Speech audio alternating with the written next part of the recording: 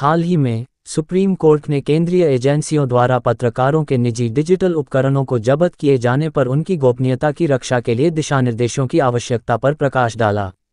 Supreme court ने के S में फैसला सुनाया था। पुट्टास्वामी बनाम भारत संघ ने 2017 में फैसला दिया कि निजता का अधिकार एक मौलिक और अविभाज्य अधिकार है।